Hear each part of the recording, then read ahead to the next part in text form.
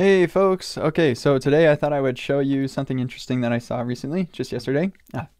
Um, it is void, this keyword. We don't use this very often uh, because most of the time it's not all that useful, to be honest. Um, well, maybe it's mostly not, I think it's not useful because I don't use it very much and maybe I'd find it to be useful. But basically, um, here's what void does.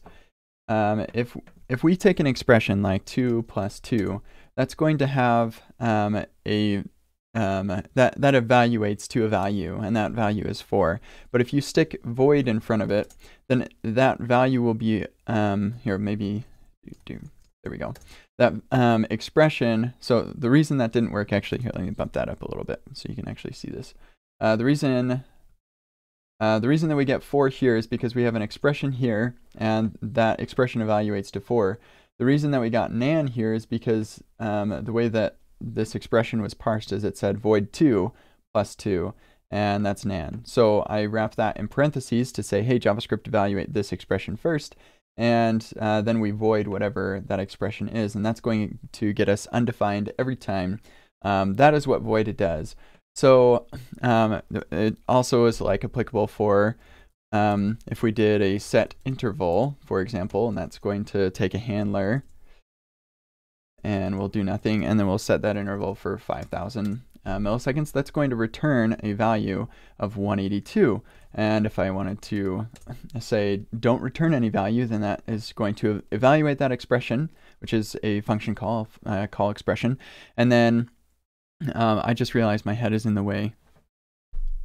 There you go. Um, so then it uh, that uh, expression is evaluated, then we void that, which effectively says take that expression and make it evaluate to undefined. So um, why is this useful and why did I use set interval as my example? Well, yesterday I saw this really cool demo from Dan Abramov about um, using hooks with uh, React Spring's use transition hook uh, to make this really fancy looking animation thing going on here. And one thing that I noticed in here was this use effect right there. And right there he's using void. Now let's take out that void and see why Dan would use void there. I'll pop open the uh, terminal and um, well, we already, I got rid of the warning. Okay, so here we go. Uh, okay, some of these are not what I'm looking for. Let's do this and we'll refresh that. Okay, there we go. Um, oh, we should, looks like there's a class in here somewhere. Um, but we're looking for this warning right here. An effect function must not return anything besides a function which is used for cleanup. You returned 74, which was the ID, uh, the interval ID that is returned from set interval. So if you want to have an inline arrow function, um, that's uh, just on a, on a single line like this, this is a perfectly good um, example for when that, that could be useful, then the way that you do that is um, by simply saying void. Now, um, is it worth using a uh, kind of not well-known feature of JavaScript to do this kind of thing? Eh, I don't know. Um, like let's let's compare this. So we'll comment that out, and then instead of void, we'll just put this um, in curly brackets. And uh, yeah, I'm not getting Prettier because I have I'm not in the editor. I'm just in the um, in the embed. I guess this is an embedded URL. But anyway, uh, so is void with that better than this?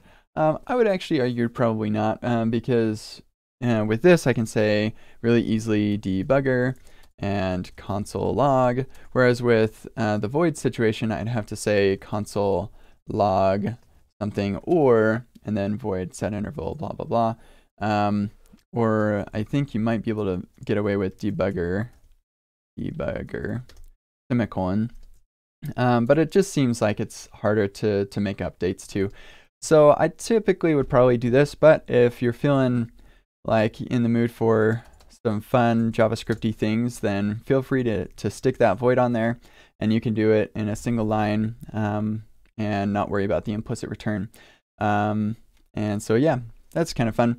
That's all that I've got for you today. Uh, I've got to get going, got some stuff to do, um, but I I hope that's interesting. Check out that void operator, kind of interesting, uh, interesting stuff you can do there. All right, I hope you all have a wonderful day, and I will see you all next time. Goodbye.